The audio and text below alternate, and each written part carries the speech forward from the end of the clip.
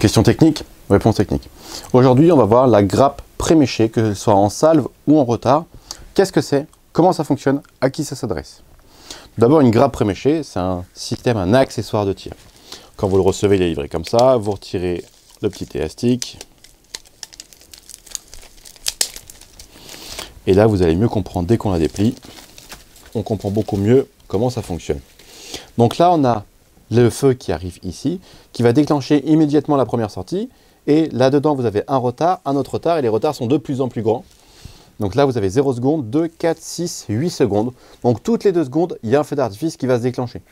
Théoriquement, c'est réservé ou c'est utilisé, c'est pas réservé, c'est utilisé pour les artifices professionnels. Donc ça va être des bombes de feu d'artifice, donc la grosse boule, en 75, 100 mm, peu importe, qu'on va venir directement loger ici avec la mèche. Donc pour la vraie connexion pour les F4, hein, on, dénude la mèche, on a ça, on l'enfonce directement dans la petite papillote, le plus loin possible. Vous voyez, ça s'enfonce, ça s'enfonce. Comme ça, dès que le feu arrive ici, pouf, ça va déclencher la bombe. Elle part, elle explose, elle fait la belle bleue, la belle rouge. Mais souvent, c'est également utilisé pour les particuliers. À ce moment-là, il vous faudra la mèche lente. Là, vous avez le rouleau de 10 mètres qui est vendu en exclusivité sur le site lesmagiciensdufeu.fr. Vous allez prendre votre mèche lente, de feu d'artifice, de fusée, peu importe le montage que vous avez fait. Il y a des tutos qui sont visibles sur la chaîne. Donc là, on va dire que c'est directement votre feu d'artifice. Toujours les mèches, on les prend, on les coupe en Y, on essaye de les ouvrir un petit peu et pas juste laisser directement le morceau de corde. Vous voyez, je l'ai ouvert un petit peu en Y, comme ça, et ça suffit. Il n'y a pas besoin de plus, d'accord?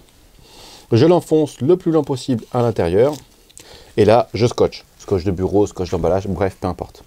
Donc, dès que le feu va passer ici, ça va déclencher la première sortie, il n'y a rien. La deuxième sortie, ma mèche lente. La troisième sortie, ma mèche rapide.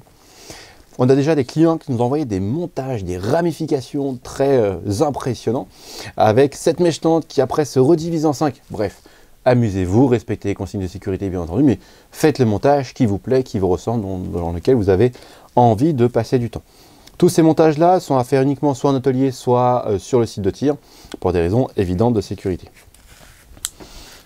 Précision également importante, deux choses. Là, on voit qu'il y a un petit capuchon, et là, on voit qu'il y a un petit capuchon. Donc ici, vous avez votre mèche principale d'allumage.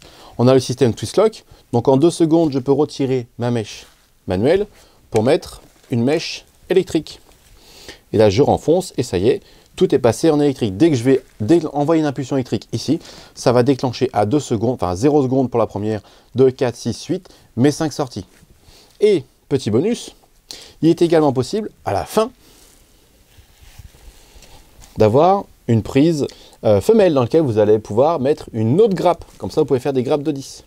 Et ainsi de suite.